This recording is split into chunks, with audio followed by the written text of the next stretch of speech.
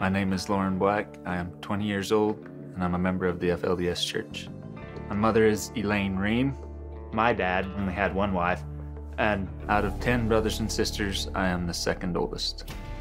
Growing up, my father, I'd have to say he was a good man, but as he got more and more children, then I started to notice him, you know, changing. He, he changed a lot from my early memories.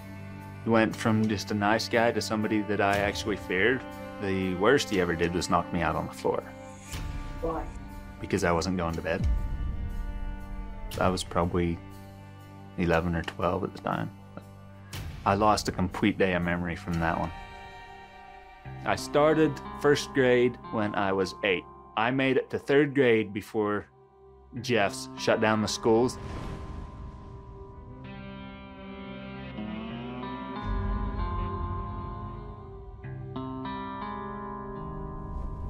By then, mother was so busy, you know, taking care of the family and doing everything that she was never able to do school. So I've only got a third grade education.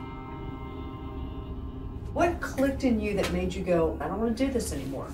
It was, we was in meeting, the leader of the church, Warren, he was on the phone from prison saying a revelation. It says the young men are to be servants. Basically, you are just going to go to work and give your paycheck till you die, and you're never going to get anywhere.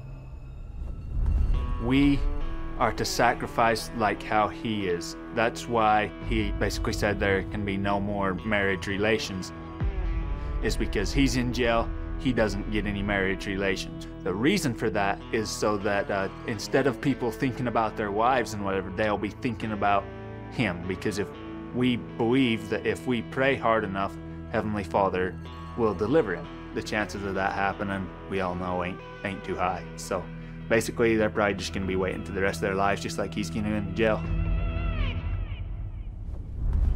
What is your living situation?